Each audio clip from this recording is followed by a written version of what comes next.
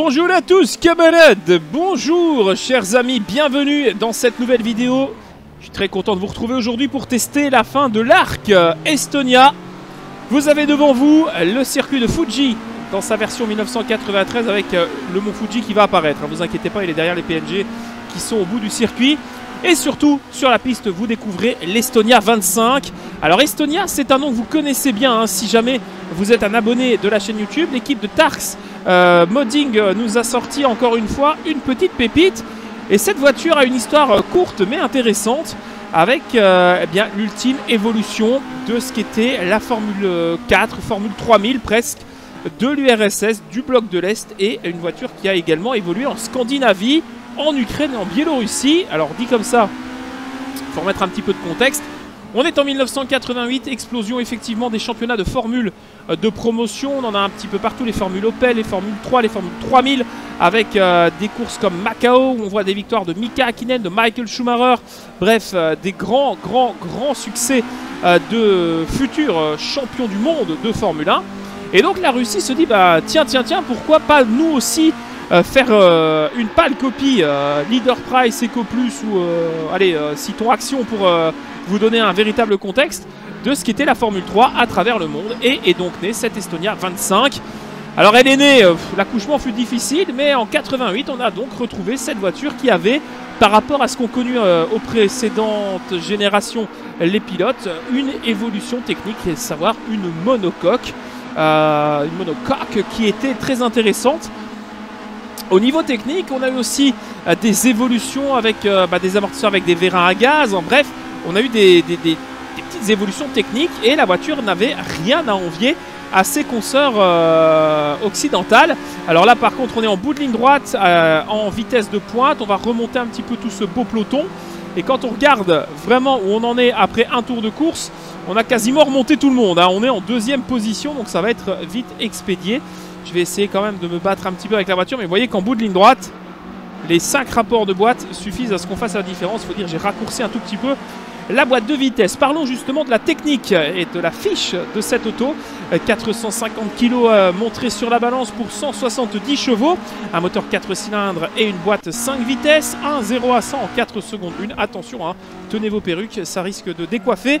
On a une voiture qui euh, propose euh, dans son évolution deux moteurs, alors principalement des moteurs de Lada, bah, en même temps c'est ce qu'il y avait le plus hein, en URSS à l'époque, et pour les peut-être pour euh, les équipes les plus euh, huppées euh, du plateau.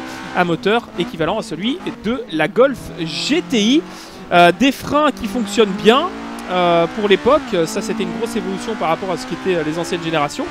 Et donc un championnat qui est né en 88 et qui est mort, je pense, avec le bloc de l'Est et sans doute avec la chute du mur de Berlin en 91. Pendant ces quatre années d'existence, le championnat aura vu passer pas mal de pilotes russes, bien entendu, des pilotes euh, qui euh, ont ensuite été exportés un petit peu leur talent ailleurs, sans grande réussite. Et aujourd'hui, c'est des voitures que vous pouvez retrouver euh, face eh bien, au Dallara, au Lola, au Ralt, qui ont animé les grandes époques des formules monoplaces, comme c'était le cas notamment à l'époque du Grand Prix de Macao de Formule 3, en tout cas de Formule 3000. Dans cette même veine, on retrouve d'ailleurs parmi les skins, les décorations proposées sur euh, ce championnat, des, euh, livrets plutôt sympathiques. Bien évidemment, des livrets inspirés du tabac. On double une voiture au sponsor Marlboro. Nous sommes nous-mêmes sponsorisés par Camel. Il y a West, il y a des euh, livrets inspirés qui ne sont pas réalistes. On retrouve évidemment sur la communauté du modding des skins bien plus agréables. Et j'ai pas de sixième. On est bien sur une boîte 5 vitesses. Et alors le, sous-régime en cinquième, il fait flipper. On est en tête au troisième tour. C'est magnifique. appréciez la voiture, à mon avis parce qu'il n'y aura pas beaucoup de batailles et pourtant l'IA est à fond. Et ça, c'est un des premiers défauts du mode.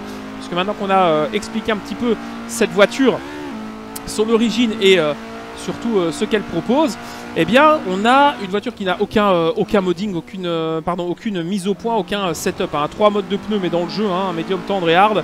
Ça, c'est habituel et surtout, juste les ailerons avant et arrière et basta. On ne s'est pas emmerdé avec d'autres réglages. Au niveau esthétique également, c'est pareil. Hein, la prise d'air euh, n'est pas présente, comme c'était le cas sur beaucoup de formules euh, de l'époque sur le côté euh, pour que la tête du pilote ne soit pas devant la prise d'air au-dessus de l'arceau comme ça se faisait déjà en Formule 1. ici, oh, oh, ah bah, voilà, le sous-virage, aucune raison. La voiture qui m'a échappé et, pourtant C'est pas faute d'avoir du grip aéro, parce que la voiture colle vraiment bien au bitume. Mais je suis sur une piste que j'ai volontairement mise en mode green, donc une piste verte, fraîche, pour euh, essayer de me faire un peu surprendre. Et là, sur le freinage, j'avoue, je me suis fait un peu avoir. Et vous voyez que ça bloque encore les roues. Euh, pas d'ABS. Hein. Ici, on est euh, à la dure. C'est le bloc de l'Est. Alors, le mode en lui-même est gratuit, heureusement. il a des avantages, il a des défauts. visuellement, il y a quand même des erreurs assez grotesques de modélisation au niveau des pneumatiques. Au niveau du volant, vous voyez que c'est pixelisé. Pourtant, je suis à fond, je suis à fond hein, dans mon truc. Euh, oh là là là, un petit peu large ici. Il faire une, une Massa en 2008. Euh, et voilà, donc globalement, la voiture est propre. Le force feedback est correct. On sent qu'on a énormément d'appui mécanique et d'appui aérodynamique. On le sent d'autant plus dans les parties sinueuses. Euh, c'est une voiture qui est très intéressante à ce niveau-là. Et elle n'est pas compliquée à conduire en fait. C'est vraiment tu arrives, tu piles, tu freines, un peu dégressif, tu descends tes rapports, tu peux pas broyer la boîte parce qu'elle est faite en, fonte et en bouchon de liège. Donc vraiment c'est incassable. Ça marche très très bien. L'animation du pilote est faite aussi avec la boîte en H, puisque normalement vous pilotez avec une boîte séquentielle. Moi ici je suis à la palette pour le confort du tournage de la vidéo, mais c'est une voiture qui avec une boîte en H se fait vraiment plaisir aussi. C'est là aussi où elle décroche un peu plus de l'arrière qu'ici. Quand on est avec euh, eh bien, aucune assistance de stabilité, on a un véritable challenge pour tenir cette auto, euh, il faut juste avoir le bon appui en fonction de la piste sur laquelle vous êtes. Sur un tracé enroulé comme Fuji, c'est tout sauf compliqué de tenir la voiture. Et l'IA a beau être à 99%, il n'y aura pas beaucoup de résistance. Là où ça va être intéressant, c'est quand vous allez piloter en serveur face à d'autres pilotes. Ça peut être intéressant. Alors regardez aussi le contour, hein, on est bien au-delà de la limite. Ça n'a pas trop de sens par rapport à ce qui est écrit, ça c'est un peu dommage. Alors aucune idée est-ce que c'était vraiment à 9000, 10 000 tours minute comme ça dans euh, l'Estonia 25 IRL ou est-ce que c'est juste dû au mode? En tout cas, si c'est dû au mode, c'est dommage parce que le compteur est un peu, euh, archaïque avec euh, température d'eau, tour, problème de, batterie. Et je me demande si en fait c'est pas... Voilà, ce que j'avais cru, c'est que comme cette voiture reprenait des mécaniques de Lada et de Golf, est-ce qu'on n'avait pas simplement un compteur de Golf ou de Lada? Et quand on voit le témoin batterie euh, le témoin du préchauffage et le témoin du frein de parking, on se dit qu'on a juste un, compteur de golf. C'est très très drôle d'ailleurs ce petit détail. Euh, visuellement, la voiture est correcte, on voit toute la transmission à l'arrière, les axes, les cardans et la transmission qui tourne euh, sur le moteur et sur l'axe de roue arrière. Donc visuellement, c'est plutôt pas mal. Les caméras proposées, là aussi, font plutôt bien le café.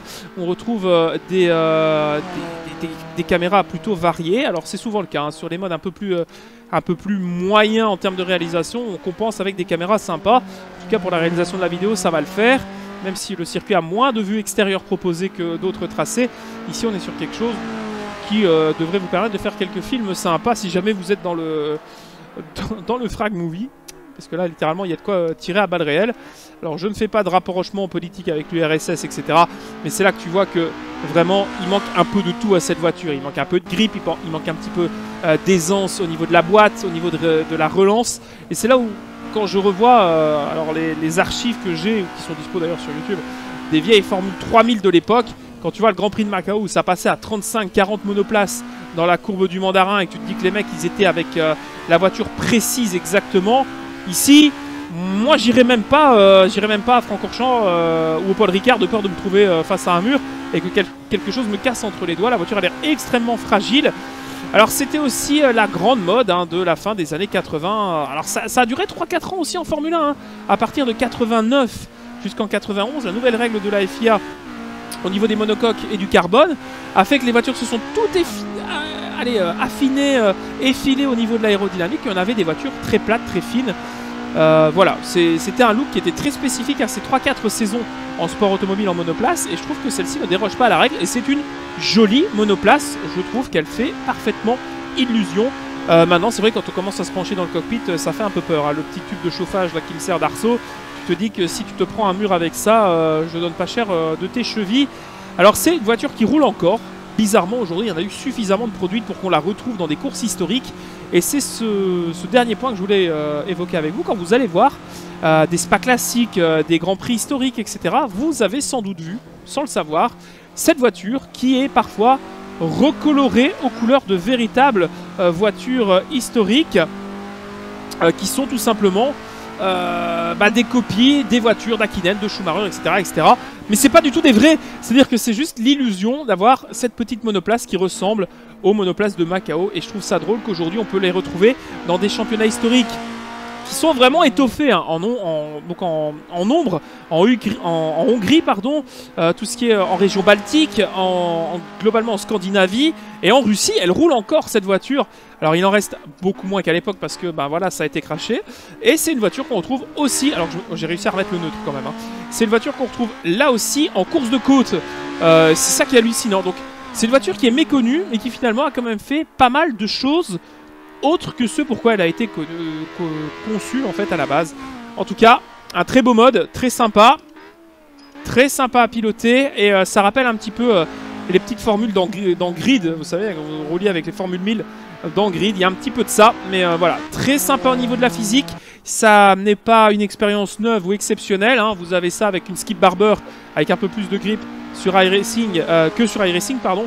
Mais globalement, je voulais absolument finir l'arc des Estonia 25 avec cette dernière évolution qui est assez exceptionnelle et avec un avantage de 15 secondes sur le reste du peloton. On va donc tout doucement, et c'est le cas de le dire, aller gagner cette petite course de présentation. Alors je vous laisse les liens bien évidemment dans la description. À vous d'aller vous faire plaisir. Il y a vraiment de quoi faire avec cette petite Estonia. Vraiment très très sympa. En tout cas, merci à tous d'avoir suivi cette course, en tout cas cette démonstration ici à, Fuji. Rendez-vous très vite pour de nouvelles aventures. D'ici là les amis, amusez-vous bien, quel que soit votre jeu de course favori. Mon dieu, les lunettes de mon mécano sont absolument exceptionnelles. La Fashion Week, c'est déjà maintenant. Allez, salut les amis, à la prochaine. Ciao